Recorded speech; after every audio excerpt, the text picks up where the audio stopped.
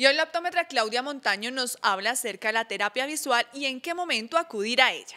Bueno, la terapia, terapias visuales en, la optometría existe un área que se llama ortóptica, que es el área encargada de tratar ciertos problemas de, de la visión que no son pues corregidos con gafas o que son corregidos con gafas pero requieren también de una terapia alternativa para poder mejorar aquellas funciones de la visión que son importantes. Eh, ellos consisten en una serie de ejercicios en consultorio dirigidos con ciertos equipos, lentes y prismas y también eh, a, la par se dejan una serie de ejercicios para la casa que ayudan a mejorar pues todas las funciones que necesitamos mejorar.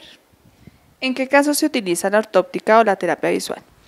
Bueno, eh, son ciertos problemas los que debemos tratar con ortóptica. Primero está algunos problemas acomodativos. La acomodación es la parte de la visión que se encarga de enfocar las imágenes.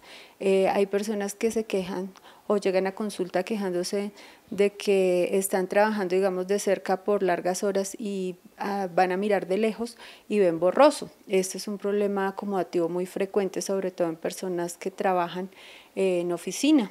Entonces, ese, ese problema puntualmente lo tratamos con ejercicios. A nivel de consultorio, eh, estimulamos eh, las reservas de acomodación o de enfoque para que la persona pues no presente este tipo de problemas. También dejamos unos ejercicios para la casa eh, muy sencillos que la gente los pueda hacer 10 minutos diarios y con eso ya mm, suple pues su necesidad de visión.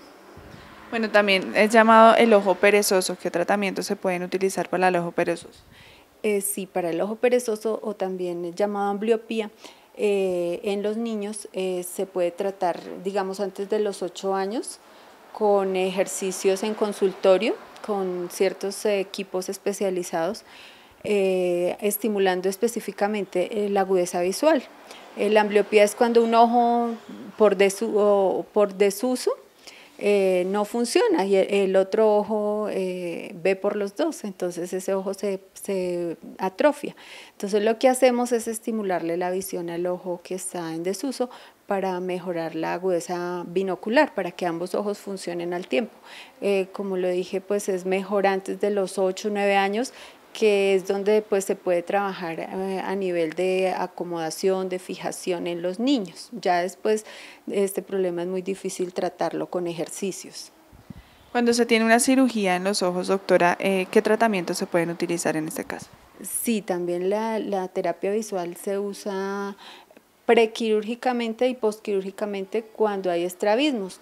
Cuando hay también cirugías refractivas también lo utilizamos porque hay funciones de la visión que, que, después de la cirugía quedan, digamos, eh, en un imbalance. Entonces lo que hacemos es con lentes y con prismas tratar ese imbalance para que la persona quede binocularmente funcionando bien y su visión eh, perfecta sin cansarse y sin ver borroso.